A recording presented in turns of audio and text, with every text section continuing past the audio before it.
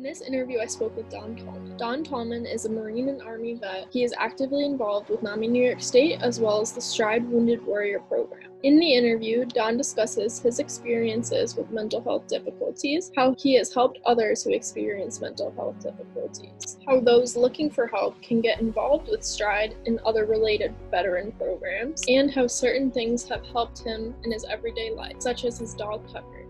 I very much enjoyed speaking with Don, and I really hope you learned something and also appreciate his passion for helping other veterans. Well, my name's Don Tallman. Um, I was in the military for 20 years, and I got injured in 2008 uh, in Afghanistan.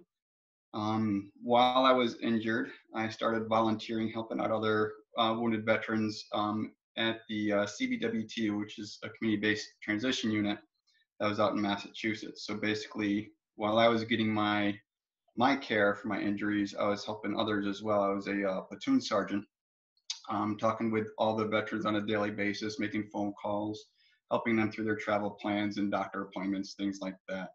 Um, I, I, when I got injured, I felt like I, uh, I lost lost a part of myself. Um, I didn't feel as useful as I was because before I used to feel like invincible. Um, I could never get hurt. I can. I was uh, into you know running and very active and very physical, um, and now I can't do any of that. So uh, I can't do simple things around the house like mowing the lawn or or lifting things or doing the daily functions I used to do um, that I never had a problem with and, and would never ask for help. Um, so during that transition, I, I went into a deep depression, and that's why I wanted to uh, go and help other veterans. I figured if I kept myself busy um, and helped other people that were going similar things, that uh, I would feel better.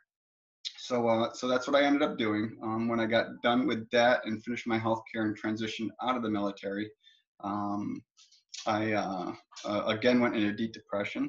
I had my my final or my big back surgery, which I couldn't move around for a little bit. And then I basically sat in my basement for almost three years, um, not going anywhere unless I was forced to uh, by my family. And, um, you know, they pushed me to do a lot of things, and um, which was good for me, but I just didn't see it. Um, eventually, I, I met um, some friends through the Wounded Warrior Project, and I started volunteering with them when I did that, I got out of house more. I was again helping veterans, and I met my best friend now, which is uh, Jamel Daniels, who was was like a poster boy for the Wounded Warrior Project. Um, he lost his leg in Iraq uh, in 2000, I want to say five, five or six, and um, you know I met him, and you know here he's going through his issues, and he is like the happiest, most outgoing person you'd ever see. And I'm just like, man, if this guy can do it, I can do it. So uh, I started pushing myself even more. We started hanging out more, and he got me back into the swing of getting back to my new normal. Um, the Wounded Warrior Project, things didn't really pan out with doing events and stuff like I wanted to. Um, so I met another organization called Stride Wounded Warriors. It's a local group only. They're in West Sand Lake. And I started doing pretty much anything that I wanted to do with the veterans. They gave me like the full reins to do whatever I wanted. Um, our big event, we do skiing, adaptive skiing every year at Jiminy Peak. Um, I started doing um, camping nights, uh, camping weekends. We have our own camp up in Chatham. Um, and actually, that's what I'm doing this weekend. We're doing a big, big event with uh, veterans and their families. So, uh, doing those things and being able to uh, take those steps to help other veterans, keeping my mind busy, um, showing people that they can do different things, maybe not the same things, or even the same things differently. Um, so that's that's like the big, I guess, window of of how everything happened and and how I got involved in what I do. So besides your dog, what other things have kind of helped you through your depression and your other mental health related things? Yeah, I mean, the, the big thing was, uh, you know, my wife pushing me, my kids, um, knowing that my kids were seeing me in the state that I was, um, kind of pushed me to to get out of that state. I would put on that smile and do the best I can to pretend everything was great, um, but it was very exhausting, and I was always tired and always sleeping. Um, but uh, but I think the big thing was obviously my family. Um, and I explained earlier, Jamil, uh, my best friend, uh, he pushed me to do a lot. Um, you know, uh, doing things with other veterans, especially ones that have been through something similar, uh, is the best therapy in my mind, for me at least. And um, when I do these camping events with Stride, that's like one of my best feelings is because you're there, you're sitting by the fire, you might have, you know, hang out with their families and stuff like that and tell your stories and, and see how people are dealing with other things and maybe try something they're, they're trying. But you get to, you get to know them, you get to know what they're going through, you get to um, see how their families are doing because it's definitely not easy on the families. Um, and, uh, you know, my wife talks to, to some of their wives and she helps them through some of the challenges that we've been through that you know she can help them with so it's it's kind of like a, a big resource um, put into a camping event and, and i think it's great because uh, like i said you get to share those different resources and how other people are dealing with things especially if you find out that somebody went through almost something almost exactly as you did could you describe more about the camp and kind of what happens there and what you do? Yeah, so the camp, um, it depends. Like this year, we're not going to do as much because you know the, the, the whole COVID nineteen thing. Um, but basically, we it used to be a Girl Scout camp. Um, it's up in Chatham, New York, and we have a huge lodge. Which during this weekend, the lodge is off limits. But you know, the lodge has got a full kitchen, bathroom, um, big fireplace. We could do movie nights in there. Um, you know, we got a whole bunch of different resources there. We have uh, frisbee golf, I think it's called. Um, we have archery. We have paintballs. We have hiking. Um, we have, you know, all the camps are already pre-set up, so they're they're tents on platforms. Some of them have ramps so that um, people with wheelchairs can get into the tents. And, uh, you know, so the, the families don't really have to do much other than show up. Uh, all the food's provided. Um, I don't usually cook. Uh, once in a while, I'll grill something, but um, hopefully, my friend Rob usually comes. He's a great cook. He can cook anything and everything, and he's he's awesome at it. Um, but sometimes we'll get one of the other veterans or their family members to volunteer and, and cook for the weekend. But all the food's there. Doesn't cost them anything. Um, and like I said, all these resources are there. Um, I'll be certified with archery next month. I'm going to a class I can uh, be certified to instruct on that. Um, but we have all these different resources there. We have an outside shower. Um, up at the tent sites, we have two tent sites, and um, they're a little bit further up the road. And uh, you know, they have the outhouse there. They have a pavilion. We have a bonfire set up up there. So it's it's one nice to get up in nature, um, and and to have all these different things that you can do during the whole weekend. Oh, and I also do like an outside movie night too. I pick, put up the big screen and and hook everything up outdoors as well. So uh, usually do a family movie, and then after the kids go to bed, maybe we'll throw on a you know more more adult version uh, movie for us. That's very cool. So, um, how would people find this camp, or how would well we, we have have um we have a website stride.org. Um, we have social media, um, you know, uh, Instagram, Twitter, Facebook. Uh, I all the people that are already registered as a Stride Wounded Warrior I have in a Facebook group, so I, I we can talk amongst ourselves and get ideas of what we want to do. Um, but uh, you know, the Facebook page is probably the easiest one because I can create the events and push the information out. Um, that's where we also do our fundraisers and everything like that. I, I push that out that way as well. Um, but I, I, always try. It's usually by word of mouth. Um, but if you keep an eye on social media, it's always out there. You know, Stride Wounded Warriors. Um, if you look it up, uh, all the information's out there. Um, we do a lot of different events. Like I said, our, our skiing at Jiminy Peak, uh, we usually do it in the first weekend of March. Um, I think we're on our 16th year. And um, we do a big formal dinner the Friday night before up in Troy. And it is a huge event. Um, we have a lot of politicians that come out and give each veteran a recognition and, and a flag. And it's like a semi-formal event. Um, and we usually do a uh, auction as well. Um, that way we can raise some money for this, and uh, you know it's a great dinner. But uh, but that event brings a lot of publicity for us um, because it's pretty. It's usually pretty well attended. But we push out to all the other veteran organizations, VFWs, DAVs, Marine Corps leagues, um, things like that. Awesome. Really cool. It's going to be very helpful for people who see this. um, so, can you sort of elaborate on the work that you've done with veterans who have specific mental health diagnoses or maybe things that you've seen? Yeah. Um, again, we, we deal with any veteran that has any type of disability, whether it be physical or mental. Um, you know, I've been diagnosed with severe depression, and when I, I, I have no degrees or no knowledge about how to deal with this, I'm definitely no expert. Um, but for me, the only thing that I do as far as helping these guys that have these challenges is act as a um, sounding board basically for them. Um, they can bounce stuff off me. Um, we can talk about what worked for who and, and, and so on. Um, and like I said, my wife has talked to some of the other wives about how she can help them deal with the situations that um, are similar to what we went through. Um, so yeah, I mean, uh, there's a lot of different resources out there. Um, about once a year, I send out a list. Um, the list always changes because different programs open up and close down and, and so on and so on, or people change. Um, but I try to update a list every year or so and put it out there saying, hey, you know, this is the, the, the vet center up in Albany. They, they work good with this, or, you know, this doctor at the VA is probably better than this one, or, or uh, other type of different resources um, for anything. Thank you.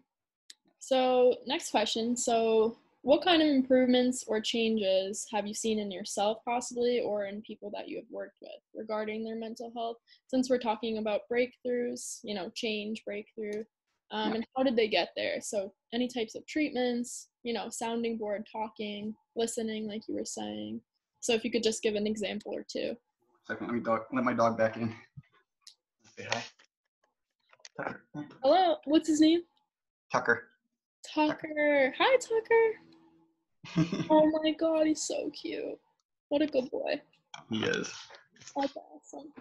People are gonna love that the special appearance of a dog. okay, so yeah, so that question about changes, improvements yourself or others. Yeah, uh, like I said, for me, um, keeping myself busy and getting out of the house was the biggest thing ever. And like I said, my wife pushed me very hard to do things, um, but it was exhausting. It was hard to put that smiley face on and, and pretend everything was normal and good. And, and then I get home and then I pass out because I'm exhausted. Um, so you know, I did go to the VA a few times. I went to the vet center for a while, um, and and you know, did the counseling and everything like that. Um, the big thing was with me was I have surgery after surgery after surgery. I think I just had my 16th surgery two weeks ago, and it's like you get to that level that you're feeling better, you feel great, and then you have to go through another surgery, and then it's like you got to have that rest time again, start kind of start over. So it's always very frustrating and um, doesn't help with the depression. But um, you know, having friends, um, especially you know veterans uh, that are going through similar things, was the best breakthrough I had. Um, you know, I went from being in my my my basement, my man cave, which is where we're at now. Um, so it's not a real basement; it's it's it's pretty nice. But uh, but um, so yeah, so so I went from being in my basement for about three years to to getting back to work, helping out more. You know, I'm more involved with my my VFW, DAV, Marine Corps League. I'm you know involved with those things. Um, I do a lot of stuff with Stride. I'm always busy doing stuff with that on the side, and all this is volunteer. So on top of my my full time job and two kids and a, a wonderful dog, um, I try to try to balance all that. But as long as my mind's keeping busy, I'm doing better. Um, so it's it's one of those things that whatever works for you. Um, I know uh, some of my friends have started trying the uh, the medical marijuana, um, and that has been, in their words, you know, God sent because it and and their family as well. They said everything has changed since then. It's so much better for them. Um, I haven't tried it yet, um, but uh, I, I hear it's been working very well for quite a few veterans uh, that have the, you know, especially severe PTSD and things like that. Yeah, I think that's about it. Well, thank you. Very mm-hmm. helpful.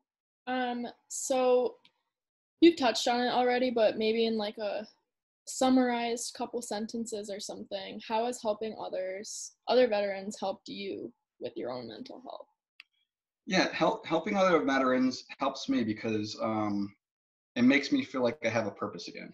Um, like I said before, I, I, I felt bad that I couldn't do the things that I could do before, and uh, not being able to help out around the house anymore, not be able to run like I used to, not be able to run at all, um, not being able to do all the physical stuff I used to be able to do. Um, I used to be that type of person that no matter how old I was or how old I got, I knew I was going to beat those 18 year olds, you know, in any kind of physical competition, um, which now obviously I can't do. So I, I started doing, um, oh, this is one other thing was uh, uh, hand cycling. Um, so I started doing hand cycling. Um, that's probably the only physical activity that I can do that doesn't cause more pain. Um, so that kind of helps me out as well. But I've gotten other veterans, uh, gave them the resources to get a hand cycle for free um, through an organization called Angel Bikes. Um, and again, one of the other resources I used was getting other people's service dogs through a local organization called Operation at Ease.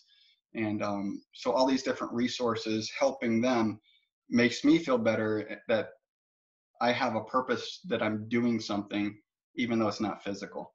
But being able to, you know, especially seeing somebody like when we go out skiing, um, seeing somebody that didn't think that they can do something, um, be able to get to that point that they love it now, you know? I mean, because that's what happened with me. I mean, I've never skied in my life.